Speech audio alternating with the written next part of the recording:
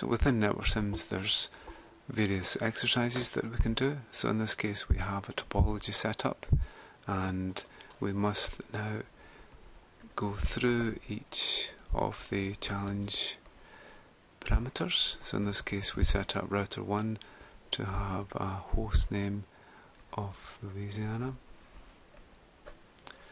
Router 2 to have a host name, in this case of Highland.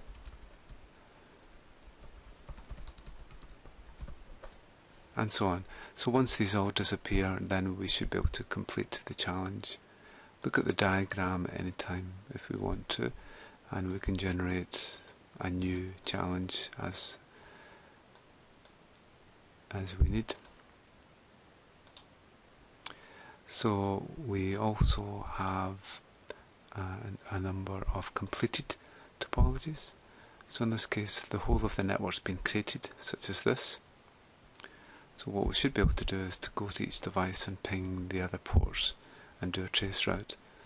So let's go to router 1 and we'll ping 10.0.1 which is our own port and we'll, then we'll ping 10.0.2 which is the other port. Okay, so we've just pinged from here to here and on router 2 let's go into our E0 interface. Uh, we'll do a shutdown.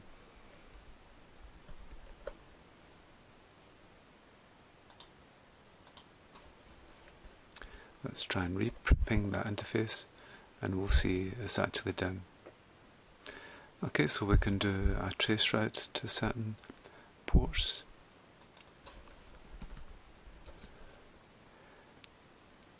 So in this case, let's do a trace route to 192.168.0.2.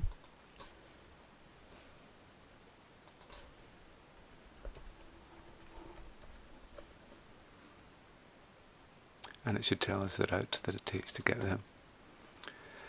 Okay, so the final thing that uh, we can look at is we can look at our topologies. So these are pre-prepared topologies that are already set up.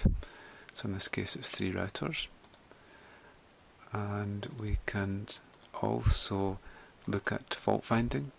So in this case there's an incorrect IP address on one of the router ports.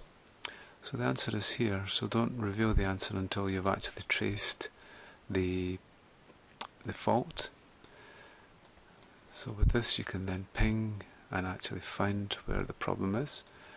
So we would normally go to one of the hosts possibly and then do a trace route and see if we can actually find out where the, the fault is. So at the end of it, once you find where the fault is, you should be able to go to R4, in this case E0 as an incorrect IP address on it.